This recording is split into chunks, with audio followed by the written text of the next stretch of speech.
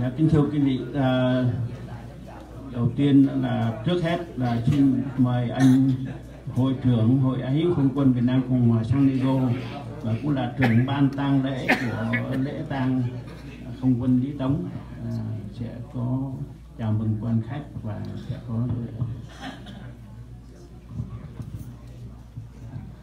thôi không cần phải nói tên gì rồi thành cảm ơn quý vị à, quý nên trưởng quý chiến hữu và quý đồng hương à, hôm nay đã tới đây để chia vừa chia chia buồn với hội công quân San Diego chúng tôi. Cái buồn và cái vui. Cái buồn là chúng ta mất mát anh ờ, một người anh ờ, một người bạn. Và cái vui là anh đã được lên trên nước trời. Và đồng thời tôi cũng xin lỗi xin lỗi quý đồng hương. Trong thời gian qua có rất nhiều người gọi điện thoại cho tôi và à, vui có buồn có có những lúc tôi không có thời giờ để tôi trả lời và cũng như trong lúc anh Tống đang nằm bệnh viện thì có rất nhiều đồng hương của chúng ta, các chiến hữu của chúng ta đi vào thăm anh ấy mà cái cái cái vấn đề hạn chế của bệnh viện thành ra tôi cũng không có thể mà đáp ứng được. Thì sẵn đây tôi cũng thành thật xin lỗi quý chiến hữu, quý đồng hương đã nhiệt tình thương mến anh Lý Tống và thăm hỏi lúc anh đang nằm bệnh viện. Và sau khi anh mất cách đây hai tuần thì cũng có rất nhiều quý đồng hương, quý chiến hữu đã gọi thư, viết thơ và làm thơ, rồi gửi lời phân ưu tới hội không quân San Diego chúng tôi. Thì cái mất mát lớn của không lực Việt Nam Cộng Hòa, của toàn dân Việt Nam Cộng Hòa chúng ta chứ không phải của riêng hội không quân San Diego. Thì đúng ra để tôi đã dự trù là đưa anh Tống lên trên uh, Orange County để làm trên đó, chứ không làm ở San Diego. Nhưng mà có rất nhiều quý vị gọi cho tôi nói là Lý Tống không phải là của riêng của hội Công quân San Diego mà Lý Tống là của chung tất cả mọi người. Thành ra anh anh tôi đề nghị với tôi là nên cho view của anh Tống ở San Diego.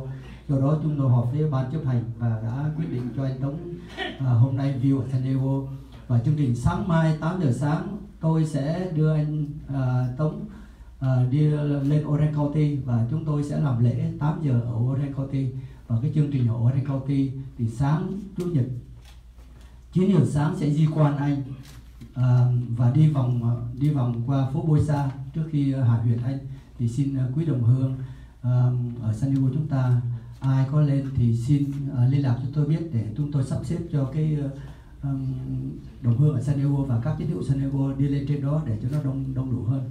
Và một lần nữa tôi xin thành thật cảm ơn tất cả mọi người rất là nhiệt tình thương mến hội công quân chúng tôi. Và đại diện cho hội ái hội không quân chúng tôi. Xin thành thật cảm ơn tất cả quý chiến hữu quý niên trưởng quý đồng hương và mọi người ở San Diego đã góp lời cầu nguyện cũng như chia sẻ với uh, gia đình không quân chúng tôi ở San Diego. Uh, xin cảm ơn. Trăng trời giờ gần ta người vượt qua biên giới quyết chiến thắng đi con ngày tìm xa khơi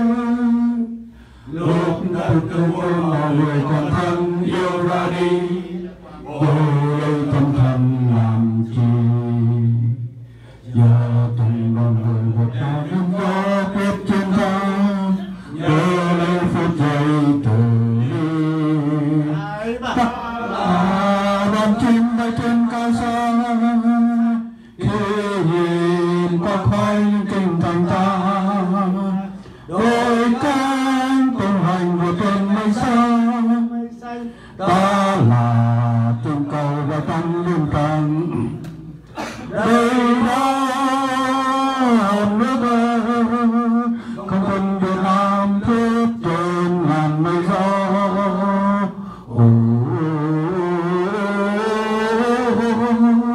ôi không quân danh tiếng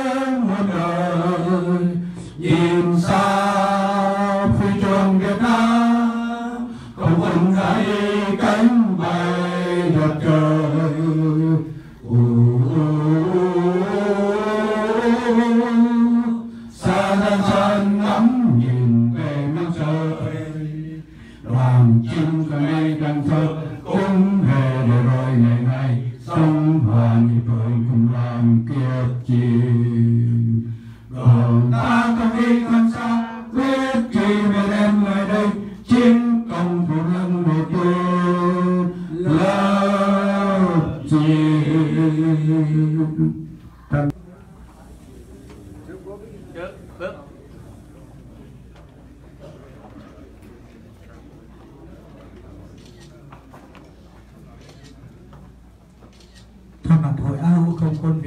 San Diego.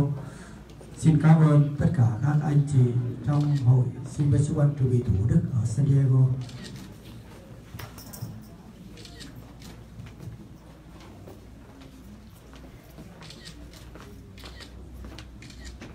Và sau đây là phần phân ưu của đại diện của gia đình Việt Đồng Quân tại San Diego.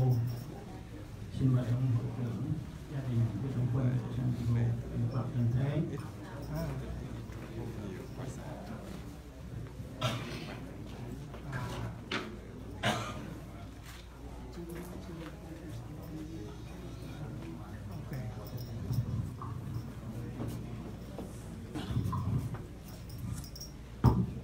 gia đình Việt Quân trân trọng kính chào quý vị, quý chiến hữu.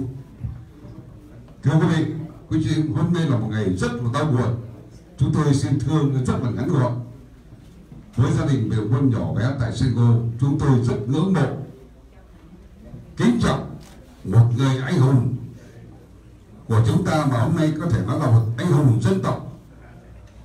Tấm gương sáng của anh để đời rạng rỡ để cho tất cả những thế hệ mai sau và cho tất cả những người lính của chúng ta còn hiểu ngày hôm nay hay khắp nơi trên thế giới đều ngưỡng mộ và không bao giờ quên anh Lý Tống một người hùng đấu tranh của dân tộc. Thưa quý vị gia đình của đồng quân chúng tôi có biết nói gì hơn? Xin phép quý vị cho chúng tôi đến để ờ, cầu nguyện lưu hồn anh Lý Tống kính thưa anh Lý Tống hôm nay anh là một người anh hùng dân, dân tộc chứ không phải là mặc dù anh là người bạn cùng khóa với chúng tôi giờ nhớ anh Nguyễn Phi Hùng nói nhưng mà anh đã làm được những việc phi thường mà tất cả anh em chiến hữu trên thế giới này không làm được một cái điều phi thường đó. Anh là một người đã yêu nước, yêu dân, tinh thần chống cộng của anh có thể lên tột đỉnh.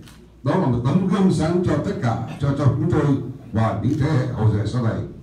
Một lần nữa xin cảm ơn hội anh không quân đứng ra để lo tăng lễ tranh lý thống. Không biết nói gì hơn xin nguyện cầu hương linh nếu anh sống khôn thất thiên anh phù hộ cho đất nước Việt Nam, sớm có dân chủ nhân quyền.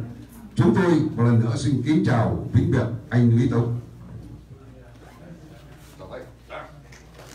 Xin cảm ơn.